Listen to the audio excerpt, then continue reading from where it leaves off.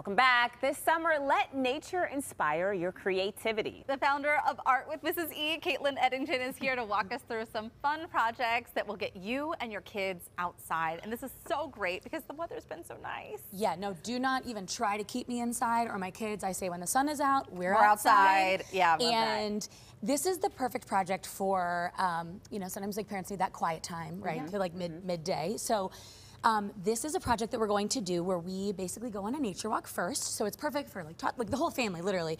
Um, I just always have my kids grab a little bucket and I have them go around and on our walks find things that are interesting in different shapes. So let's talk about some of the things that you, Yeah. you brought in and we'll work Yeah, on our yeah, project. sure, you have sure. this yarn wrapped wall hanging that you can easily do. Yeah, so I have like three different projects that, that are perfect for, again, like hunting and gathering, right? We're gathering all of our things. So this is perfect for, we're just basically gonna find like different sticks and you can do something called yarn bombing, which is a really fun trend. Basically, you find a stick and then you have a multicolored piece of yarn and we just kind of roll it and it's great. You can have kids like yarn bomb the tree trunk in their, oh, that's in their front yard. It's like a, you know, like a, a little installation piece. little and then you can turn it whimsical, in. Yeah, exactly. right? Super fun, and the kids love it. It's great for OT. It's just like again that wrapping Right. um, is great. And then you have the floral sun. Floral snatchers. I Sun catcher. Yes, a sun catcher. So this is I had like a, an embroidery hoop at my house, but I also use like a mason jar lid hanging over there. So anything okay, that's kind of yeah. round,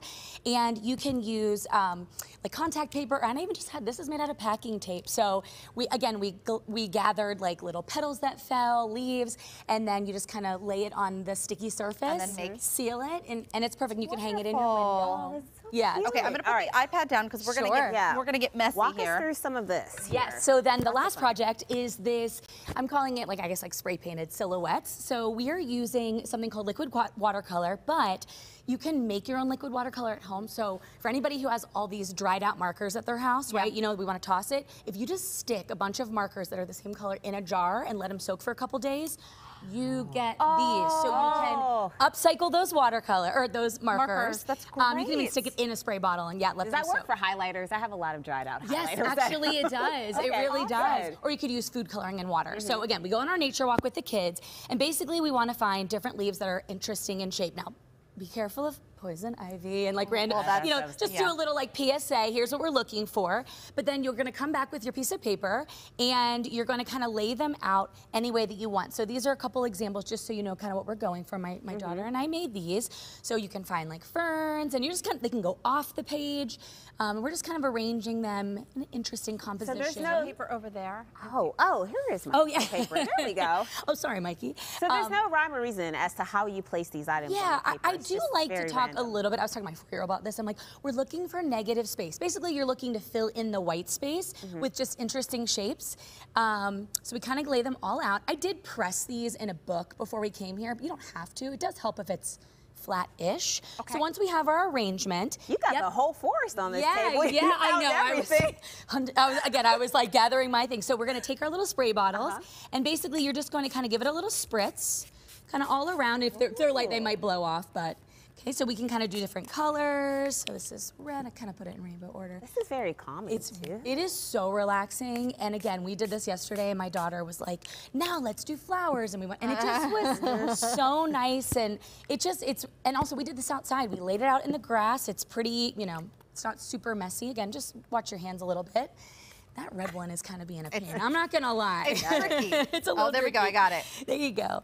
Um, again, this is this is good for just like practicing like squeeze. I also have like different spray bottles for my kiddos, so we can kind of do the whole thing. And then how long do you have to wait for this to dry? It really doesn't, yeah, not too long. And then the magic part is Oh, so whenever Heather's ready. Yes, Okay. we know I, lo- we lo- I love a reveal. Okay. Okay, We're so just we're- gonna go ahead and kind of lift off All of our the pieces. leaves. And you're gonna be left with that, again, that, that negative space. This is like creating a silhouette.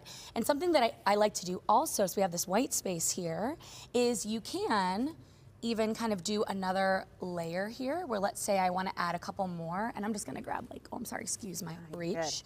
You can do another layer and you can even spritz on top of it again. And do Oh, that's- another. Yes, so Oh, there's Heather. even like even more kind of You double layer layers it. underneath. Yeah, This is so fun, and So I relaxing. think the ki- it, it's like a multi-level thing. You need to kill an hour with the kids. Yes. Mm-hmm. And- Gather and then do your project. Yeah, and you can much- you can frame these, or I also cut up a bunch and just made little like bookmarks. Oh, I need a bookmark. Yeah, That's you can use it for all kinds of things. It's really relaxing. Somehow I managed to get more paint on my fingers I than I did on the paper, Oh but my it's fine. We're, we're working at this You here. Thank you Yeah, so much. And I sure. love that we you. have your aprons on too. Thank You you. can find more of Kaitlyn's art lessons and guides online. We'll have a link on our website at kdka.com slash talkpittsburgh.